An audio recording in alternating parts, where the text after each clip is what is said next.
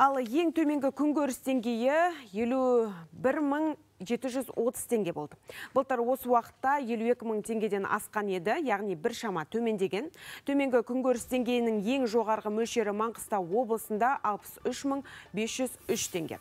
Одан кейін Астана, Алматы қалалары мен Шығыс Қазақстан және Ұлытау облыстары тұр. Ал қалған 15 өңірде ең төменгі күнкөріс деңгейі республикалық көрсеткіштен сәл төмен.